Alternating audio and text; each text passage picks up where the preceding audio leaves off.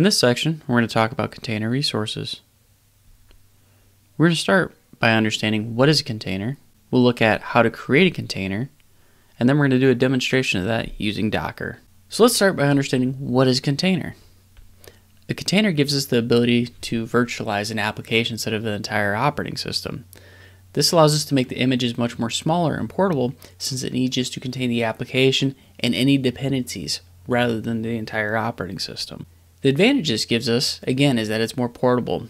And every time we start that container, it's going to be the same, whether it's on our workstation or they're using a container orchestration tool like Kubernetes. To help us understand this, let's take a quick look at what we learned about VMs and hypervisors. We can see on the same piece of hardware we have multiple operating systems with various applications running on top of them. This works well and has worked for many years.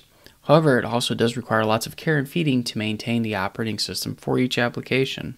If we look at containers, we can still have that hardware as our base layer, but rather than having the hypervisor sit between the OS and the hardware, we now have Docker sitting between the OS and the applications.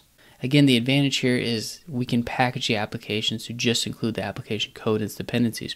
We don't need to include the OS and all the associated patches, updates, and various configurations.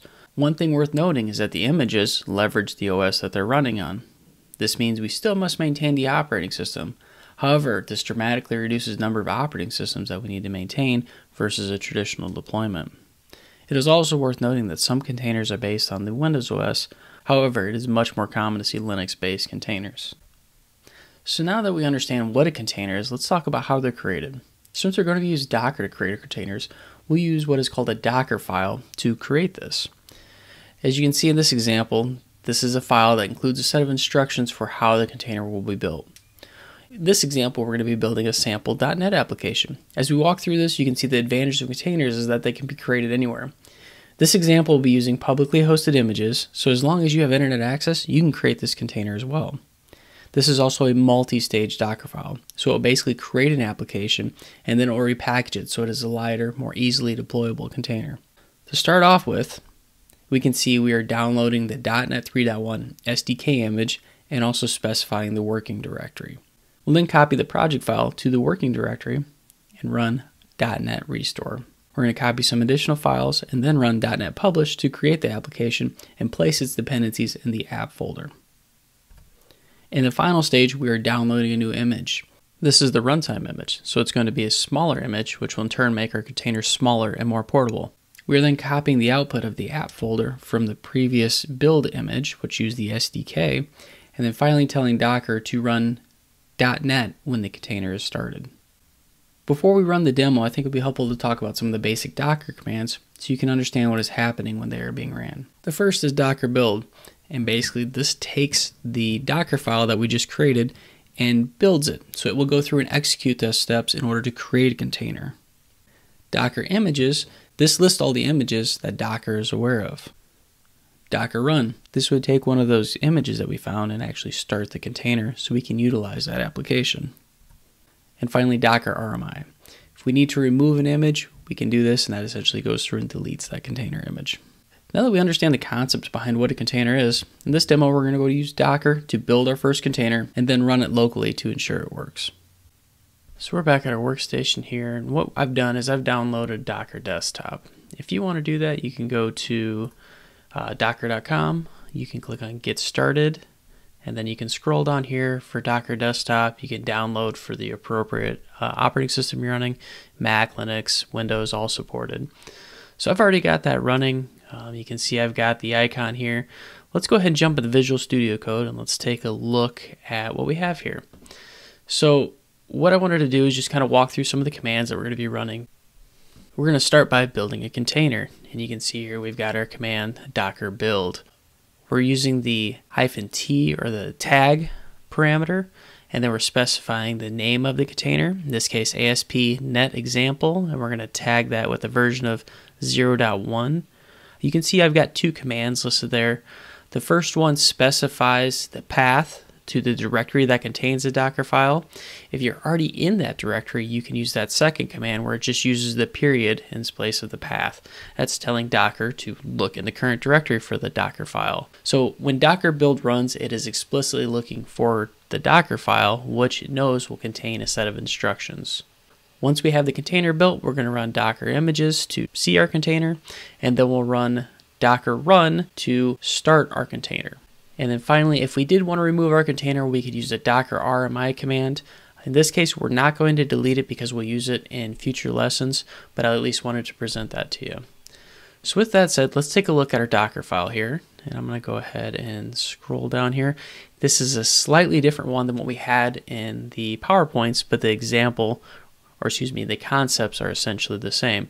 You can see we're downloading the SDK image again. We're copying over a few different files into the working directory, but we're still going to copy the files over to a .NET restore, copy some additional files over, do a .NET publish, and then in the final stage, we're downloading the runtime now instead of the SDK. Then it will copy the files that the previous state published to the app folder, and then tell Docker to run .NET when the container is started. So with that said, let's go ahead and see this in action. So again here, I'm just going to copy this full command just so we can see how it would run if the Docker file was in a different directory. So we'll go ahead and paste this and run. And you can see it's starting to execute that command. So step one of 12, it's going to go ahead and download the SDK images. So we'll let this run for a while and just follow along. Insert bad joke about movie magic. All right, now we can see we finished, and you can see it just basically follows along step through step here. So let's go ahead and do Docker images, and now we can see we've got our images here. So this is the image that we created, our ASP.NET example with the tag 0.1. And you can also see it downloaded the SDK as well as the runtime. And if we take a look, you can see the big size difference between the SDK as well as the runtime.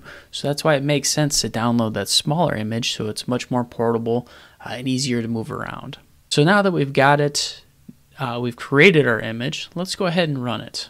So here I'm just going to execute the docker run command and you can see we're basically doing docker run.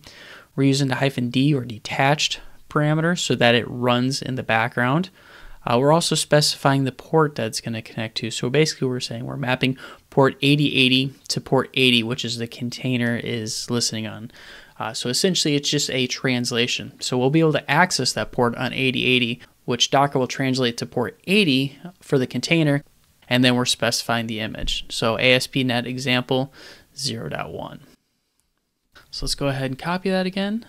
We'll paste it here and run. We can also do a docker ps and now we can also see that the container is running. You can see that it's doing that translation of port 8080 to port 80 on TCP and it started a few seconds ago. So now let's go back to our browser. Let's open up a new tab. We'll do localhost 8080 and there we go. We've got our Skylines Academy container demo. So perfect. Looks like it's up and running. Let's jump back into PowerPoints and see what's next.